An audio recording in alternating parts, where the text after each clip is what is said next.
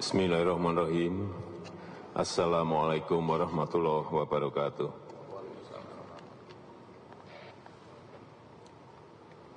Pertama-tama perlu saya sampaikan bahwa saya telah mendapatkan laporan langsung dari Menko Polhukam, dari Wakapori, dari Panglima TNI, dan dari Kepala BIN terkait dengan upaya pengendalian situasi dan pemulihan keamanan di Makobrimob yang telah selesai dengan cara-cara yang baik. Dan Alhamdulillah narapidana teroris semuanya sudah menyerahkan diri kepada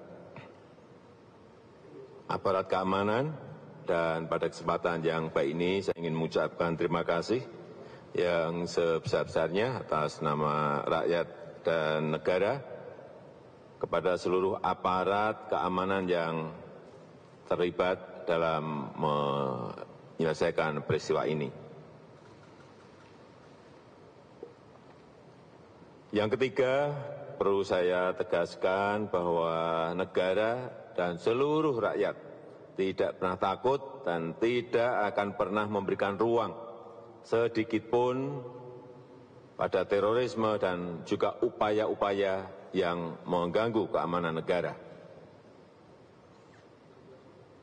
Dan yang terakhir, atas nama rakyat, bangsa, dan negara, saya menyampaikan rasa duka yang mendalam atas gugurnya lima anggota kepolisian dalam melaksanakan tugas dari negara dan semoga keluarga yang ditinggalkan diberikan ketabahan dalam menghadapi duka ini. Saya juga telah memerintahkan kepada Wakapolri untuk memberikan kenaikan pangkat luar biasa kepada prajurit yang telah menjadi korban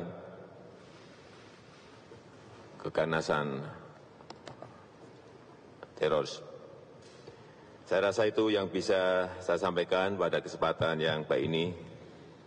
Terima kasih. Assalamualaikum warahmatullahi wabarakatuh.